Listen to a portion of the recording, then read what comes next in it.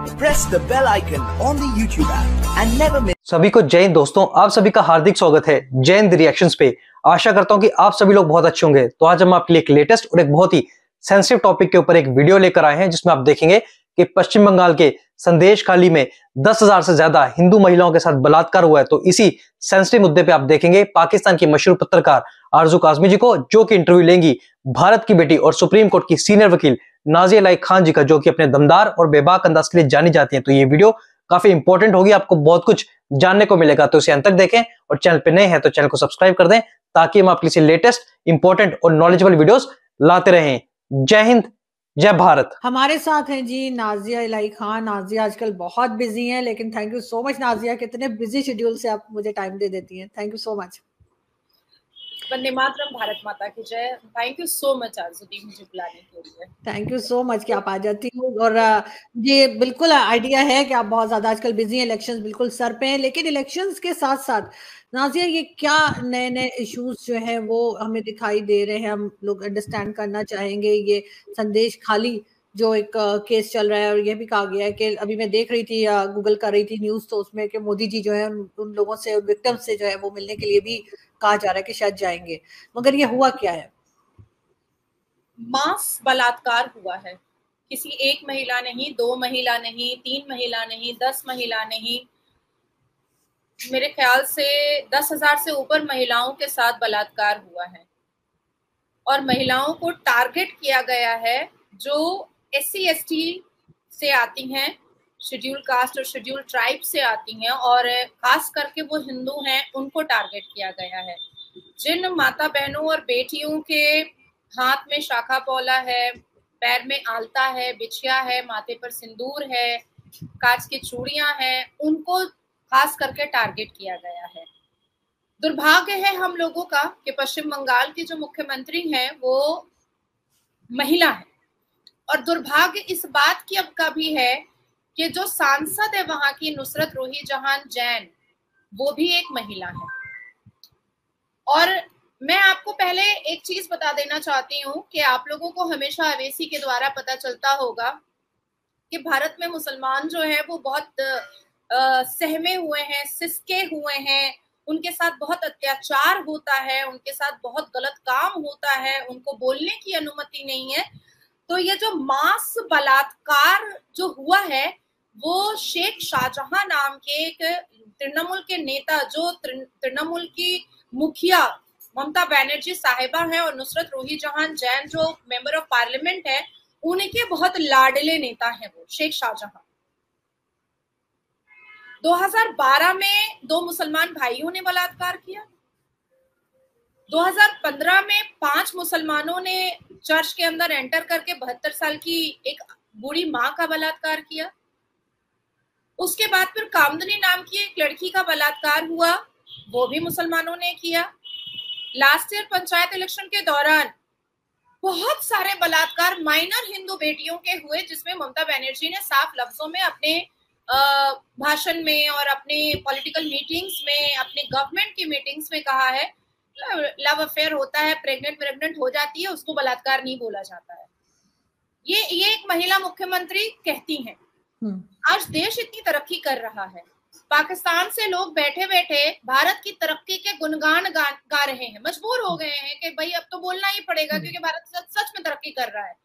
और इसी भारत में एक पश्चिम बंगाल है जहाँ के कई जिलों में आज तक मीठा पानी नहीं पहुँचा है। इसी भारत, इसी बढ़ते हुए तरक्की याफ्ता भारत में एक संदेश खाली है, जहाँ की सड़कें आज तक नहीं बनी है। पूरे पूरे बशीरहाट में इलेक्ट्रिसिटी आज तक नहीं पहुँची है। मोदी जी की योजनाओं से वंचित रखा गया है, वहाँ के वहाँ के लोगों को। आज योजनाएँ सड़क ग्राम योजना के तहत सड़कें और शहर, किसी में फ़र्क नज़र नहीं आता है हमारे भारत में। लेकिन जब हम पश्चिम बंगाल पहुँचते हैं तो मेन कोलकाता सिटी आपको बिल्कुल लगेगा सिंध प्रोवांस लगेगा आपको या, या आपको कराची लाहौर जैसा लगेगा जैसे परसों कल या परसों भी। कराची या लाहौर में गलियों में फायरिंग हुई है। एक जीजा ने साले को फायरिंग करके वो निकल गया। तो उसी तरीके से पश्चिम बंगाल के लोग जब रात में सोते हैं तो सीरिया की तरह बमबारी सुनते हैं। और जब रात रात को सुबह उठते हैं तो महिलाओं के बलात्कार की चीख सुनते हैं। एक मिनट लूँगी कोई है दरवाजे में हाँ श्योर श्योर श्योर जी। पश्चिम बंगाल में कल जिसको डेमोक्रेसी का फोर पिलर कहा जाता है मीडिया। आप भी मीडिया से हैं? क्या हम्म। हुआ अगर पाकिस्तान से हैं? आपको भी अपना मान सम्मान बहुत प्यारा होगा और जब प्रोफेशन के द्वारा हम लेते हैं तो उस हिसाब से मीडिया अगर भारत का है या पाकिस्तान का है मीडिया मीडिया एक फैमिली हो जाती है तो फोर्थ हम्म। पिलर का हाल कल क्या किया गया है वो मैं दिखाती हूँ आपको हम्म।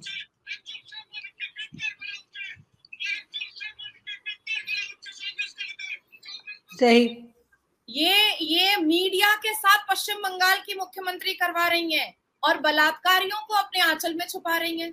बलात्कारी अपने आंचल में छुपते हैं और बलात्कारी अगर मुसलमान है नासर खान की तरह, बलात्कारी अगर मुसलमान है शेख शाहजहां की तरह, बलात्कारी अगर मुसलमान है खादर खान की तरह, अगर बलात्कारी मुसलमान है अमीरुल की तरह, तब तो फिर भाई औरतों का कुछ सुनवाई नहीं हो सकता है।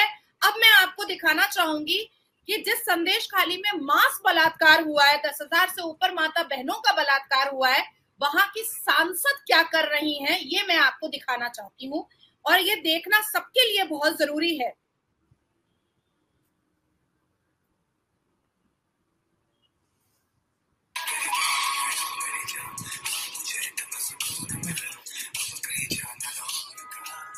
अब मैं दिखाना चाहती हूँ कि जिस दिन माँ बहने सात फरवरी से लेकर के आज 19 फरवरी तक झोली फैला करके राज्य सरकार से अपने इंसाफ की भीख मांग रही हैं, उस सात फरवरी से जो महिलाएँ रो रही हैं, कलप रही हैं, क्योंकि वही शेख शाहजहां के बिस्तर पर माँ को भी खिलौना बनाया गया, बेटी को भी खिलौना बनाया गया और नतनी को भी खिलौना बनाया गया है।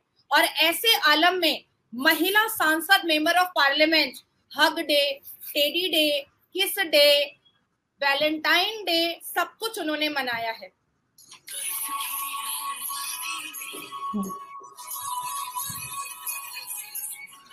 मगर नाजिया इतना कुछ होता रहा दस हज़ार से ऊपर लोगों के किस्म का रेप हुआ कोई कुछ बोला क्यों नहीं? किस बात का इंतज़ार कर रहे थे?